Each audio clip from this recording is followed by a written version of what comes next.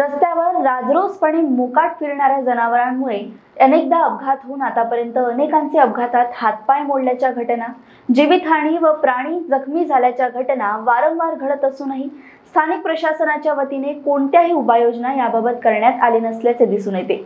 त्यामुळे या जनावरांचा बंदोबस्त करण्यात यावा. या मागणीचे निवेदन नागरिकांच्या वतीने उपविभागीय अधिकारी वंदना सौरंगपते तहसीलदार बाळासाहेब मस्के पोलीस निरीक्षक रामटेक यांना निवेदन देण्यात आले आहे.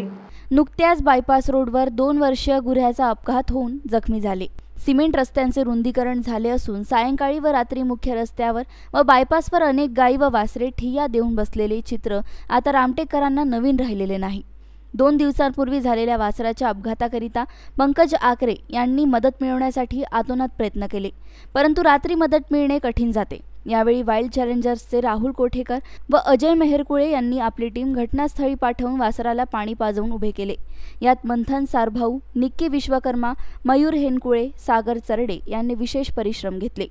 आतापर्यंत अनेकांचे अपघातात हातपाय मोडल्याच्या घटना जीवितहानी व प्राणी जखमी झाल्याच्या घटना वारंवार घडत असूनही स्थानिक प्रशासनाच्या वतीने कोणत्याही उपाययोजना याबाबत करण्यात आलेल्या नाहीत. जनावरांच्या मालकांना जनावरांची व मानवी जीवांची अजिबात पर्वा नाही असे दिसते. यावेळी कोंडवाडा मालकांना आर्थिक दंड दवंडी गोशालेत रवानगी करावे इत्यादी बाबींवर चर्चा करून संबंधित यंत्रणेला सूचित करण्यात येईल. असे आश्वासन उपविभागीय अधिकारी वंदना सवरंगपते यांनी दिले आहे. या प्रसंगी रामटेक समता दूत राजेश राठोड जिल्हा परिषद सदस्य सतीश डोंगरे माजी सरपंच योगिता गायकवाड कृपासागर भोवते संतोष हटवार दुर्गा लोंढे महिला समुपदेशक दीपा चव्हाण माजी सरपंच महेंद्र दिवटे शुभा थुलकर आदी नागरिक उपस्थित होते. निष्काळजीपणे जनावरांना मोकाट सोडणाऱ्या मालकांवर कठोर कारवाई करण्यात यावी अशी मागणी समतादूत राजेश राठोड यांनी केली आहे. विकेबी न्यूजसाठी रामटेक येथून सुषमा मर्जीवे यांची रिपोर्ट.